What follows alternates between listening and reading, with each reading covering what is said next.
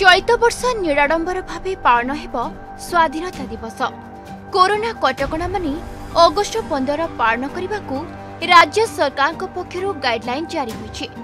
କେନ୍ଦ୍ର ସରକାରଙ୍କ ଗାଇଡ୍ଲାଇନ୍ ଅନୁସାରେ ଏହି ସମାରୋହ କମ୍ ଲୋକରେ ପାଳନ କରିବାକୁ ରାଜ୍ୟ ଗୃହ ବିଭାଗ ପକ୍ଷରୁ ସବୁ ଜିଲ୍ଲାପାଳ ଓ ଏସ୍ପିଙ୍କୁ ଚିଠି ଲେଖାଯାଇଛି। କୋଭିଡ ନିୟମ ମାନି ସବୁ କାର୍ଯ୍ୟ କରିବାକୁ ନିର୍ଦ୍ଦେଶ ଦିଆଯାଇଛି। ସକାଳ ନଅଟା ପରେ ଉତ୍ତୋଳନ ହେବ ଜାତୀୟ ପତାକା। ତାପରେ ଜାତୀୟ ସଙ୍ଗୀତ ଗାନ କରାଯିବ। ଏଥର କୌଣସି ପ୍ରକାରର ପରେଡ୍ କିମ୍ବା ମାର୍ଚ୍ଚପାଷ୍ଟ ହେବ ନାହିଁ। ସେହିଭଳି ସ୍ୱାଧୀନତା ଦିବସରେ ସାଧାରଣ ଲୋକ ବି ସାମିଲ ହୋଇପାରିବେ ନାହିଁ। ଉତ୍ସବରେ ସୀମିତ ସଂଖ୍ୟକ ପଚାଶରୁ ପଞ୍ଚସ୍ତରୀ ଅତିଥିଙ୍କୁ ସାମିଲ ହେବାକୁ ଅନୁମତି ଦିଆଯାଇଛି। ଏମାନଙ୍କ ମଧ୍ୟରେ ରହିବେ ପନ୍ଦରରୁ କୋଡ଼ିଏ କୋଭିଡ୍ ଯୋଦ୍ଧା।